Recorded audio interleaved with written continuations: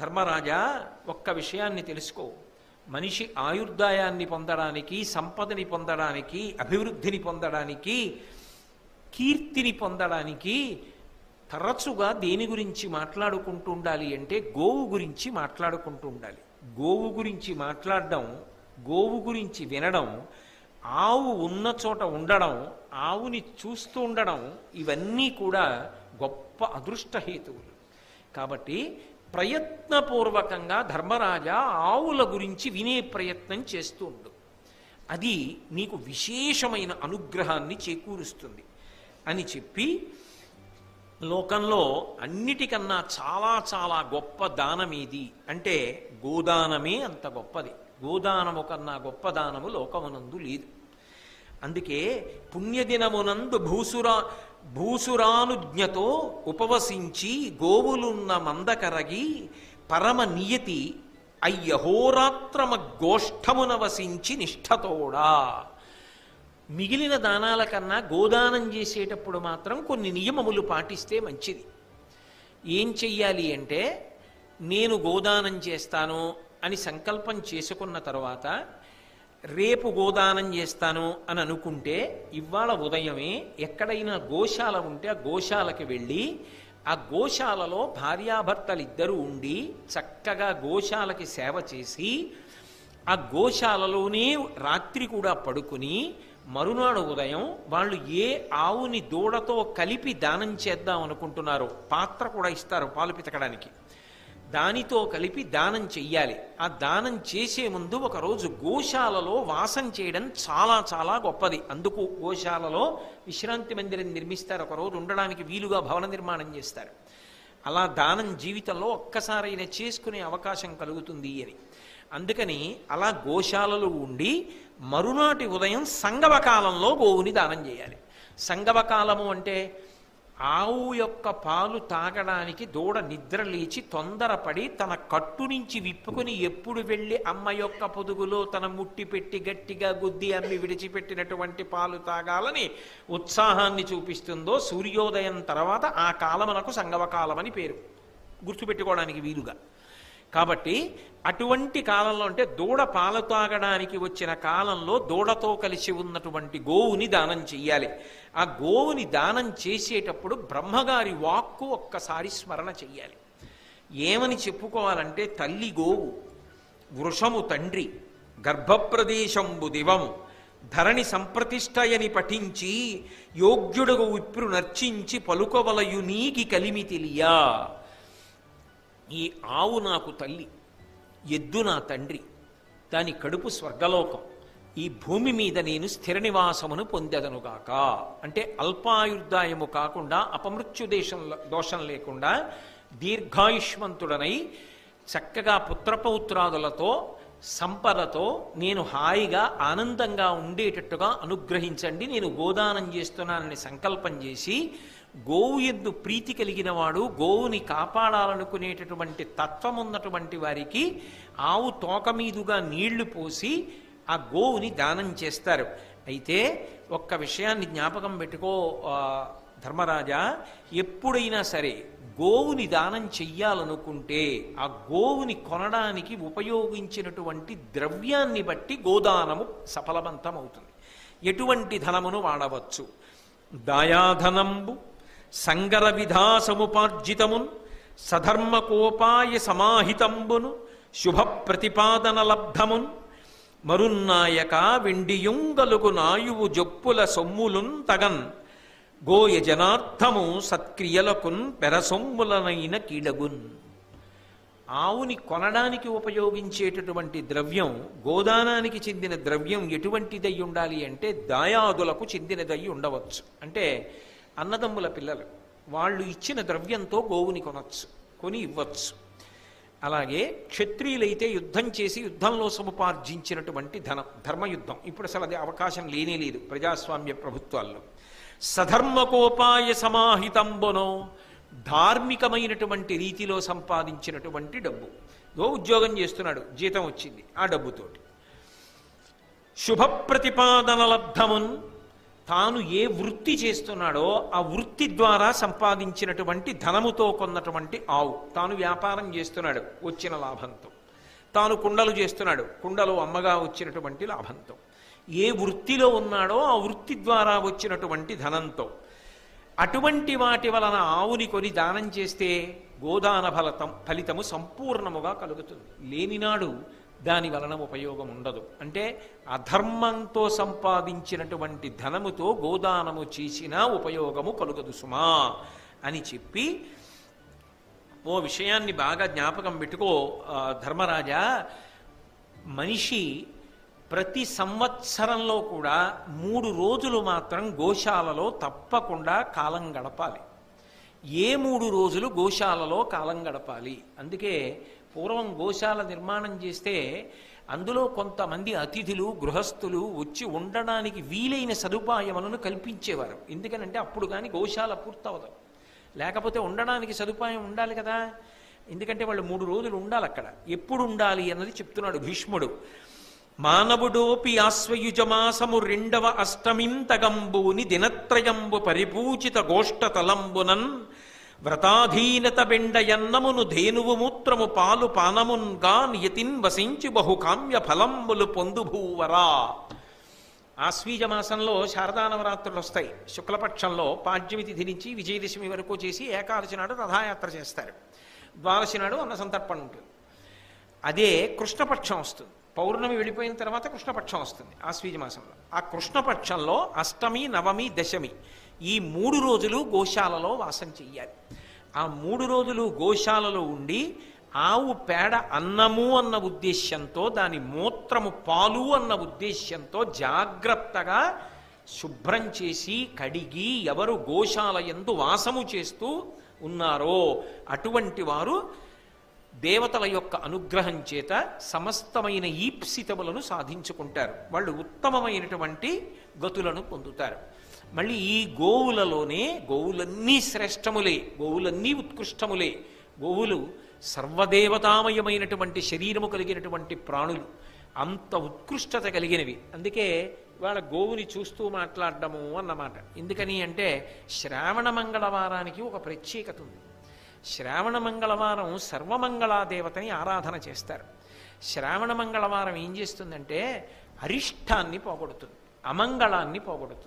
పోగొట్టి అన్ని మంగళములు కలిగేటట్టుగా చేస్తుంది. అన్ని మంగళములు కలిగేటట్టుగా చెయ్యగలిగినది ఏది అంటే భీష్మాచార్యుల వారి నోటి మాట ఇది గోవు. దాన్ని స్మరిస్తే చాలు. దాన్ని చూస్తే చాలు. దానికి ప్రదక్షిణం చేస్తే చాలు. దాని గురించి వింటే చాలు. ఈ మాట నీ చెప్పాల. భీష్ముడు చెప్పాడు భారతంలో. అయినప్పుడు ఆ గోవును ఎదురుగుండా చూస్తూ అలంకృతమై ఉండగా దాన్ని దాని దూడని చూస్తూ చెప్పుకోవడం అంటే ఈ ప్రసంగం ఎంత అదృష్టం. దాన్ని చూస్తూ వినడం ఇంకెంత అదృష్టం. అందుకని చెప్పి ఇందాక ఒకసారి మీరు దర్శనం చేస్తూ వింటారని లోపల ఏర్పాటు చేశారు. కాసేపు వాటికి అభ్యంతరం లేకపోతే లోపలికి ప్రవేశపెట్టండి. మళ్ళీ అల్లరి చేయకుండా రమ్మనండి.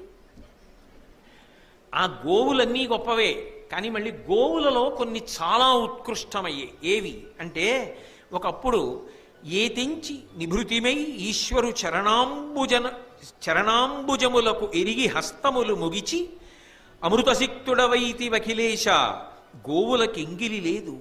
ఇందుడెట్టులమృతమొసగునట్టుల గోవులసగు దుగ్ధంబుల తద్వత్స పీత దుగ్ధంబు శుచియ కాన కోపము దక్కి కరుణింపుమని ఒక్క కమనీయ వృషభంబు కప్పమిచ్చే శివుడు ప్రియమంది దాని కేతువును వహనంబుగా చేసి సకల జనంబు నెలమి వృషభకేతుడను. నామంబును వృషభ వాహనుండనియు పేర్కొనగా ఒప్పియుండెనధిపా. ఒకప్పుడు పరమశివుడు హిమాలయ పర్వత ప్రాంతంలో కూర్చుని తపస్సు చేస్తున్నాడు. నిన్నటి రోజున విన్నారుగా ఆయన ఎవరి కోసం తపస్సు అంటే లోక కళ్యాణం కోసం. అందరూ బాగుండాలని తపస్సు చేస్తున్నాడు. అలా తపస్సు చేసుకుంటూ ఆయన కన్నులు మూసుకుని లోపల తనలో తాను రమిస్తున్నాడు. ఆ సమయంలో అక్కడ ఒక ఆవు వచ్చి నిలబడింది. దాని దూడ వెళ్ళి దాని పొదుగులో ముట్టి పెట్టి గుద్ది పాలు తాగుతోంది. పాలు తాగుతుంటే దాని దవడ చివర నుంచి నురుగు ఒకటి ఎగిరి వెళ్ళి పరమశివుని యొక్క శిరస్సు మీద పడింది. ఆపాటి స్పర్శకి ఆయన ఎందుకో బహిర్ముఖుడయ్యాడు. బహిర్ముఖుడై ఎవర్రా ఇక్కడ ఇలా అంబా నరుస్తూ నా చుట్టూ తిరుగుతూ అమ్మ పాలు తాగుతూ ఆ నురుగు నా మీద పడింది. నురుగు అసహ్యం కదా పైగా ఎంగిలి కదా అన్నట్టుగా ఆయనకి తెలియదా అంటే తెలుసు ఆయన ఏదో లోకానికి అనుగ్రహం చేయాలనుకుంటున్నాడు అని కోపంతో కొంచెం కళ్ళు రె- కళ్ళు ఎర్రపడగా ఆయన ఇలా చూశాడు. చూసి మూడో నేత్రాన్ని తెరిచాడు. గోవు కదూ అది తట్టుకుంది. అందులోంచి ఎర్రటి కాంతి వెళ్ళి గోవు శరీరం వినబడింది అవి ఏమైపోలేదు అందుకే ఇప్పటికీ విగ్రహానికి ప్రతిష్ఠ చేయగానే ప్రాణప్రతిష్ఠ చేయగానే ముందు గోవుని పెడతారు. అది తట్టుకుంటుంది ఆ శక్తిని. దానికి సహజంగా శరీరంలో ఆ శక్తి ఉంటుంది. కాబట్టి ఆ గోవు తట్టుకుంది. మిగిలినవి పరిగెత్తుకుంటూ అటు ఇటు వెళ్ళిపోయి. ఏ ఆవుల మీద శివదృష్టి పడిందో ఆ ఆవులు ఎరుపు రంగు పొంది. అవి కపిలగోవులు అని పిలువబడ్డాయి. అంటే పూర్తిగా ఎరుపు రంగు అయితే కపిల గోవు మళ్ళీ అది మీకు నేను ఖచ్చితంగా చెప్పాలి అంటే చూడండి ఏనుగు మీద నెత్తురు పోశారనుకోండి. ఎందుకని అంటే కపిలో జగన్నక లంబోదరస్య వికటో విఘ్నరాజో గణాధిప అని పేరు. ఆ మాట నేను ఎందుకంటున్నానంటే ఏనుగు మీద నెత్తురు అన్న మాట ఎందుకు వాడానంటే విఘ్నేశ్వరుడికి ఓ నామం ఉంది కపిలహ అని. కపిలహ అని నామం ఎందుకు వచ్చిందంటే ఆయన అరణ్యంలో గజాసురుడితో యుద్ధం చేశాడు. గజాసురుడు అంటే ఏనుగు రూపంలో ఉంటాడు. ఆయన్ని చంపాడు. అప్పుడు ఆయన నెత్తురు ఏనుగు మీదే పడిపోతుందా? పడిపోదా? పడిపోతే ఆ ఏనుగు మీద నెత్తురు పడినప్పుడు ఏ రంగు వచ్చిందో అరణ్యంలో రక్తం ప్రవహించి ఒంటి మీద పడి అటువంటి రంగు విఘ్నేశ్వరుడి మీద ప్రతిఫలించింది. ఇప్పుడు కపిలహ అని పేరు పొందాడు. కపిల గోవు అంటే నలుపు ఎరుపు కలిసిన రంగుతో ఉన్న గోవు. ఏనుగు మీద నెత్తురు పడినట్టు. అటువంటి గోవు ఎక్కడుంటుందో అది మిగిలిన గోవుల కన్నా శ్రేష్టము. ఆ నలుపు ఎరుపు రంగులు కలిసినటువంటి గోవు శివదృష్టి ప్రసరించింది కాబట్టి అది పరంపరాగతంగా అలా కపిల గోవులు కొన్ని వచ్చాయి లోకంలో. అటువంటి కపిల గోవు ఎక్కడైనా ఉంటే చాలా చాలా గొప్పది సుమా. గొప్పదే కాదు దాని ఎందుకు లక్షణం ఉన్నది? మీరు ఏదైనా చాలా గొప్ప కార్యం చేస్తున్నారనుకోండి మీ ఎదురుగుండా లేకపోవచ్చు. కానీ ఒక్కసారి కళ్ళు మూసుకుని అటువంటి కపిల గోవుని స్మరించారనుకోండి. కపిల గోవుని స్మరిస్తే మీరు చేస్తున్న పని సఫలీకృతమవుతుంది. అనుగ్రహింపబడతారు అని శాస్త్రవాక్కు. ఎందుచేత అంటే నేను ఏ ప్రమాణంతో చెప్తున్నానంటే పెళ్ళిలో తలంబ్రాలు పోసుకోవడం అని ఒక తంతు ఉంటుంది. మూడు మాటలు సమంతకం. ఆ తర్వాత వేడుక. ఏదో ఎత్తి పోసుకుంటారు ఉత్సాహం కోసం వాళ్ళ మధ్య ఐకమత్యత కోసం. మూడు మాటలు పోసుకునేటప్పుడు చాలా అడుగుతారు. పుష్టిరస్తు శాంతిరస్తు తుస్థిరస్తు ఆరోగ్యమస్తు ఐశ్వర్యమస్తు. ఎన్నో అడిగి మాకు ఐశ్వర్యము కలగాలి యజ్ఞములు చెయ్యాలి సంతానము కలగాలి ఇవన్నీ అడుగుతారు. అడిగినప్పుడు తలంబ్రాలు పోసుకునే ముందు ఏం చేస్తారంటే ఇన్ని కోరికలు దేవతలను అడుగుతున్నారు వీళ్ళు. వీళ్ళకి తగిన యోగ్యత కలగాలని ఒక మంత్రం చెప్తాడు. బ్రహ్మస్థానంలో ఉన్న వ్యక్తి కపిలాన్ స్మారయంతు అంటాడు. కపిలాన్ స్మారయంతు అంటే కపిల గోవుని వధూవరులిద్దరూ కళ్ళు మూసుకుని ఒక్కసారి జ్ఞాపకం తెచ్చుకోండి. నలుపు ఎరు- ఎరుపు రంగులు కలిగినటువంటి ఆవుని ఒక్కసారి గుర్తు తెచ్చుకోండి మనసులో. మనసులో చూడండి ఇప్పుడు తలంబ్రాలు పోసుకోండి అని చెప్తారు. ఎందుకని అంటే కపిల గోవుని మనసులో ఒక్కసారి స్మరణ చేస్తే చాలు. అంత శుభప్రదం అవుతుంది అని. అలాగే శంకరుడు ఒక మాట అన్నాడు ఈ కపిలాఖ్యానము శుశ్లోకము దీని పఠనంబు శృతము కలిమిలో కలిమిలోద్రేకంబు బాచి సుతులననేక ధనంబులను పెంపునిచ్చు నరేంద్ర. ఈ కపిల గోవుకి సంబంధించినటువంటి ఆఖ్యానాన్ని ఎవరైతే వింటున్నారో దీని పఠనంబు దీన్ని చదివినటువంటి వాళ్ళు ఎవరుంటారో అటువంటి వాళ్ళు కలిమలోద్రేకంబు బాచి కలి యొక్క ఉద్ధతి నుంచి బయటపడి మంచి కొడుకుల్ని పొందుతారు మనవల్ని పొందుతారు వంశం వృద్ధిలోకి వస్తుంది చాలా సంతోషాన్ని పొందుతారు. కాబట్టి ఆ కపిల గోవు గురించి వినడం కూడా అంత గొప్పదు సుమా అని దానికి ఫలశ్రుతి చెప్పి భీష్మాచార్యుల వారు ధర్మరాజు గారితో ఒక మాట చెప్పాడు.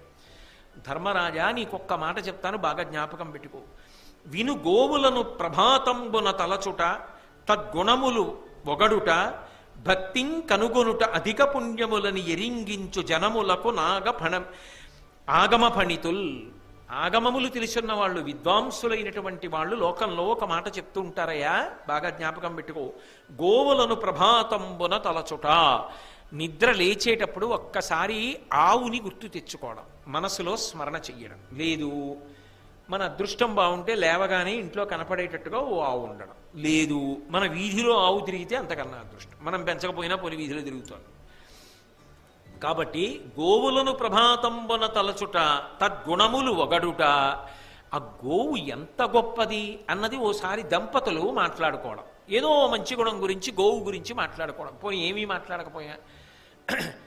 నిన్న నువ్వు ఆవు వచ్చింది ఆవులు ఏమైనా వచ్చాయేంటి ఇంటి ముందుకి ఏమైనా పెట్టావా? అని ఒకసారి ఏదో స్మరించడం గోవుని. భక్తిం కనుగొనుట అధిక పుణ్యములని ఎరిగించు జనములకు ఆ- ఆగమ దాన్ని ఒకసారి చూడ్డం భక్తితో నమస్కారం చేయడం వీలైతే కాస్త పసుపు రాయడం ఓ బొట్టెట్టడం దానికి కాస్త గడ్డి పెట్టడం ఇటువంటివన్నీ కూడా ఎంతో గొప్పవని చాలా గొప్ప పుణ్యాన్ని ఇస్తాయని ఆగమ పండితుల్ విద్వాంసులైనటువంటి వాళ్ళు చెప్తున్నారు ధర్మరాజా. అందుకని ఇది అలవాటు చేసుకో జీవితంలో. రోజు గోవులను స్మరణ చెయ్యి. అని గోలోకం అనేటటువంటిది సామాన్యమైన విషయం కాదయా. ఎవరు గోదానం చేస్తారో. ఇందాక చెప్పానే అలా సశాస్త్రీయ గోదానం చేసిన వాళ్ళు గోలోకాన్ని చేరుకుంటారు. అది ఎలా ఉంటుందో తెలుసా?